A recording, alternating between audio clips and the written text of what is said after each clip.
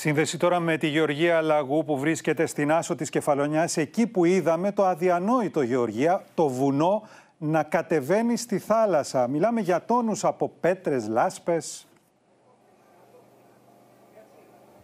Ακριβώς Γιάννη, έτσι είναι ο Ιαννός εδώ και εδώ μάλλον έδειξε το χειρότερό του πρόσωπο. Όπως μπορείτε να δείτε, πίσω μου ακριβώς έχω ένα λόφο από λάσπη, πέτρες και φερτά υλικά. Βρίσκομαι εδώ για να σας δείξω το βάθος. Φανταστείτε, όλες οι πέτρες, οι τόνοι από πέτρε και φερτά υλικά και λάσπη κατέβαιναν από το βουνό. Εδώ ήταν η πλατεία του νησιού, σε αυτό το μικρό ψαροχώρι. Όπως μπορείτε να δείτε, βλέπετε το βάθος, πώς όλα έχουν μπει, α, είναι γύρω στο 1,5 μέτρα. Είναι όλα θαμμένα θα μένα εδώ κάτω στη λάσπη. Είναι η τρίτη μέρα που το μικρό αυτό χωριό δεν έχει ούτε ρεύμα, ούτε νερό και δυσκολία στις επικοινωνίες.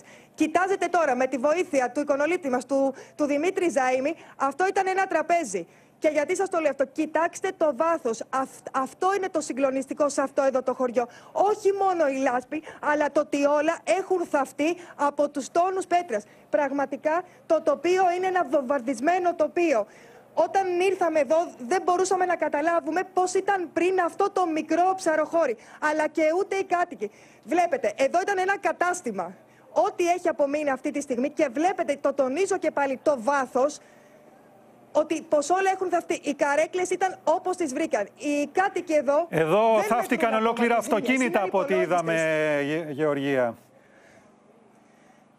Πράγματι, Γιάννη, και ούτε ένα ούτε δύο ολόκληρα αυτοκίνητα. Φανταστείτε τα πετρώματα, εισχωρούσαν μέσα στα αυτοκίνητα. Έσπαγαν τζάμια, εισχωρούσαν ακόμα, ακόμα και στα γκαράζ. Στα γκαράζ των σπιτιών.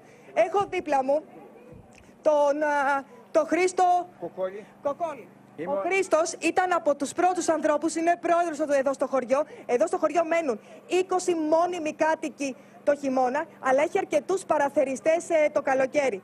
Οπότε ο Χρήστος ήταν από τους, α, από τους ανθρώπους όπου βίωσαν πρώτοι α, την μεγάλη καταστροφή. Έχασε αυτοκίνητο, έχασε ζώα. Χρήστο, περιέγραψέ μας αυτό που μου έλεγες πριν. Παιδιά, μια εικόνα είναι χίλιες λέξεις. Βλέπετε και μόνοι σας τι έχει γίνει εδώ πέρα. Οι κάτοικοι και οι επιχειρήσεις είμαστε όλοι σε απόγνωστοι.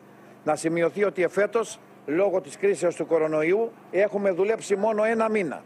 Προσπαθούμε να μπαλώσουμε τις πληγές μας, να ορθοποδήσουμε, να πληρώσουμε τους λογαριασμούς μας με παιδιά που σπουδάζουν, με χιλιάδες προβλήματα. Εγώ είμαι αγρότης, μένω εδώ. Έχασες και ζώα, Χρήστο. Εντάξει, Την επιχείρησή σου. Η επιχείρηση είναι πνιγμένη όλη. Ολική καταστροφή, ψυγεία, τα πάντα μέσα, κουζίνες, δεν έχει μείνει τίποτε. Είναι κοσμένα στη λάσπη, πιθάρια, λάδι, κρασιά, τρόφιμα. Όχι μόνο εγώ. Χιλιάδες αυτοκίνητα εδώ πέρα εδώ έχουν ταφεί στη λάσπη. Βλέπετε ότι όλο το χωριό υποφέρει. Είναι τρίτο βράδυ χωρίς ρεύμα. Χωρίς ρεύμα, χωρίς νερό, χωρίς τηλέφωνα. Με μία γεννήτρια προσπαθούμε να φορτίσει όλο το χωριό τα τηλέφωνα του. Έτσι.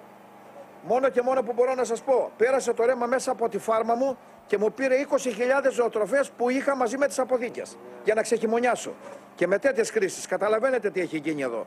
Αλλά είναι και 5-6 ακόμα επιχειρήσεις διαλυμένες. Οι περισσότερες επιχειρήσεις εδώ στο, στο νησί. Ναι, οι περισσότερες εδώ στο χωριό είναι εστιατόρια, σουβενίρ και κάποια εδώ ενοικιαζόμενα δωμάτια που έχουν πάθει ολική Αποκαρδιωτικές οι εικόνες. Κοιτάξτε εδώ να δείτε. Σε τι σημείο είναι καρέκλες κοσμένες.